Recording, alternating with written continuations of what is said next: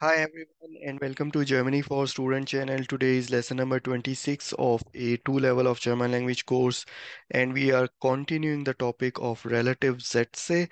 In today's lesson we are going to cover the topic of accusative.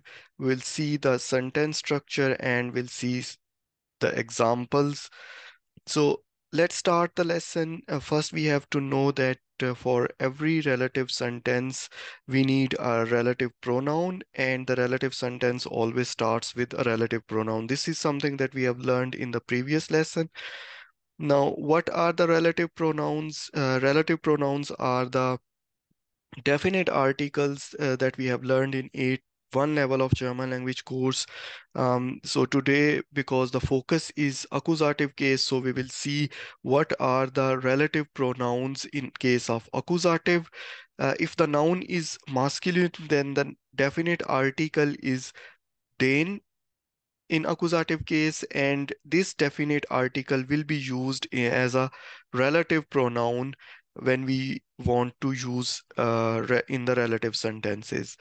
If the noun is feminine, then the definite article in accusative case is die, and this same definite article will be used as a relative pronoun to start a relative sentence if we are referring to a noun uh, that is feminine. If the noun is neuter, then the definite article in accusative case is das, and this das will be used as a relative pronoun. If the noun is plural, then the definite article in accusative case is die, and this will be used as a relative pronoun. Now let's look at the sentence structure of relative sentences. Relative sentence is a form of Nebensatz, and in case of Nebensatz, we know that uh, there is always a main sentence. I have kept the sentence structure of main sentence simple, so it starts with a subject. Verb will come at the second position, which will be conjugated according to the subject of the sentence, and then uh, we may have object, we may have preposition, we may have an adjectives, etc. Then we put a comma and give a space. After that, we start the relative sentence and relative sentence will start with the relative pronoun. So depending on the gender of the noun, we may have to start the relative sentence with a relative pronoun. Den, if the noun is masculine, if the noun is feminine, then we will use relative pronoun die. If the noun that we are referring to is neuter, then we have to use the relative pronoun das. And if the noun that we are referring to is plural, then we will use the relative pronoun die. Soon after that, we have to put the subject of the sentence. Then we have to use next part of the sentence or we have to provide further information about uh, that sentence. And the verb will come at the last position of the sentence in the relative sentence.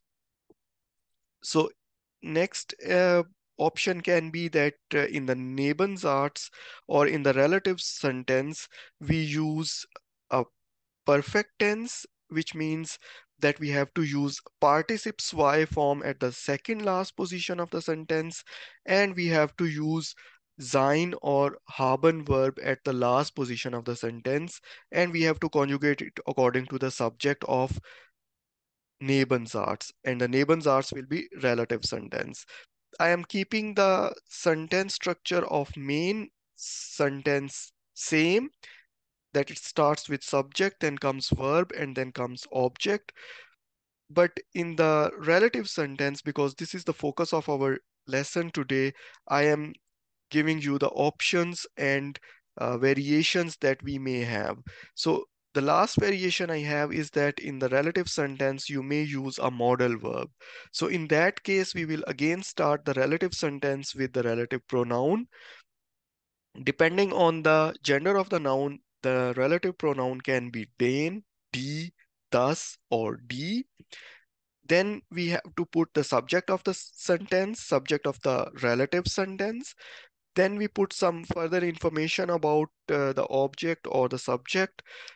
Then comes verb at the last position of the sentence and the verb will be in the infinitive form because we are using the modal verb if we have to use the modal verb. So if modal verb is used in the relative sentence, we have to put it this modal verb at the last position of the sentence and we have to conjugate it according to the subject of the sentence. And whenever we use modal verb, then we know that we have to use the main verb in infinitive form and that main verb in infinitive form will come at the second last position of the sentence. So let's look at some examples now.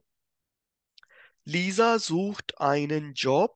Lisa is searching for a job, den sie auch als Rentnerin machen kann. That she can also do as a retired person. Now, if we look at the main sentence structure, it's Lisa sucht einen Job. So Lisa is the subject of sentence. It comes at the first position. At second position, suchen becomes sucht for third person singular Lisa. Then we use the object of the sentence, which is einen Job. Now, job is the masculine noun, and for masculine noun, indefinite article for a masculine noun in accusative case is einen. So we have used einen Job. Then we put a comma and give a space. After that, we start the relative sentence. Now, relative sentence starts with a relative pronoun. In this sentence, we are referring to a masculine noun, job. Therefore, we have to put the masculine definite article in accusative case as a relative pronoun, which is den. Soon after den, we are using the subject of sentence, which is sie. Now this sie is referring to Lisa. Then comes next part of the sentence. And in this sentence, we are using a modal verb. So modal verb will be used at the last position of the sentence and it will be conjugated according to the subject of sentence. And whenever we use modal verb, then we have to put main verb at the second last position and we have to use it in the infinitive form. So this is what we have done here. We have followed the same sentence structure that we have learned in the previous slide. Next example, das ist eine Arbeit. It's a work die ich gern mache. That I do gladly. Now in this sentence again, das ist eine Arbeit, die ich gern mache, that I gladly do. Now in this sentence, I am doing the work. So work is something on which I am performing some action. So work is the object of the sentence. And for object of sentence uh, is always accusative. So I have to check that what is the gender of Arbeit the gender of Arbeit is feminine, so I will use the definite article for feminine noun Arbeit from accusative case. Why I am using accusative? Because the Arbeit in relative sentence is used as the object of the sentence and object of sentence is always accusative. So after relative pronoun die, I will put the subject of sentence, which is ich, and then I uh, use the next part of the sentence, which can be any information. Here it is gern, which means gladly, and mache is the verb that is conjugated according to the subject and comes at the last position of the sentence. Wo ist das Auto? Where is that car das er kaufen möchte? That he wants to buy. Now, wo ist das Auto? Where is the car? that he wants to buy or he would like to buy. Car is being purchased or bought. Therefore, this is the object of sentence. And for object of sentence, we have to use accusative definite article as a relative pronoun and we have to start the relative sentence with that. So for auto is a Neuter noun and the accusative definite article for a neuter noun is das. Then comes the subject of sentence, which is er. Now in this sentence, we are using again a modal verb möchten. Therefore, at the second last position, we have to put main verb in infinitive form. So kaufen remains kaufen and the modal verb at last position will be conjugated according to the subject er and it becomes möchte. Here's in the Formulare. Here are the forms, die du ausfüllen musst, that you have to fill out.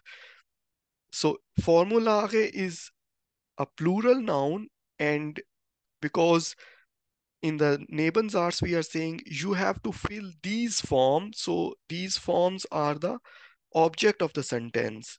Therefore, we have to use definite article for a plural noun from accusative case, which is die. And soon after that, we have to use subject of sentence. And here again, we are using modal verb. So we will conjugate modal verb and uh, put it at the last position of the sentence and the infinitive form of verb will come at the second last position of the Nebensatz.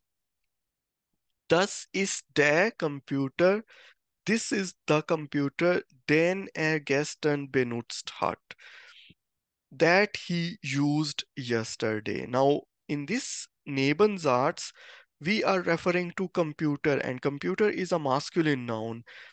In the Nebensatz, this computer is used as the object of the sentence. And for object of sentence, we are using the accusative case because object of sentence is always accusative.